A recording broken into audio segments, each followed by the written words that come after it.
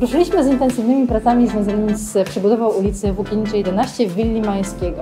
E, Obecnie realizowane są tutaj prace związane z przebudową dachu, jak również e, postępują prace związane z odlewami detali architektonicznych. Udało nam się e, pomimo prac zabezpieczających rozpocząć również prace konserwacyjne na elewacji. Rozpoczęliśmy również prace em, przy węźle CO, aby można było na koniec tego roku uruchomić ogrzewanie do docelowych pracy e, konserwatorskich Elewacja frontowa jest bardzo bogato zdobiona w detal architektoniczny. Detal ten będziemy y, przywracać. Y, Jest on w większości zachowany, natomiast oczywiście są egzemplarze, które wymagają rekonstrukcji i obecnie odtwarzane są one metodą sztukatorską, czyli wykonywane są modele na podstawie y, oryginalnych detali i potem odlewane y, z form silikonowych w gipsie ceramicznym.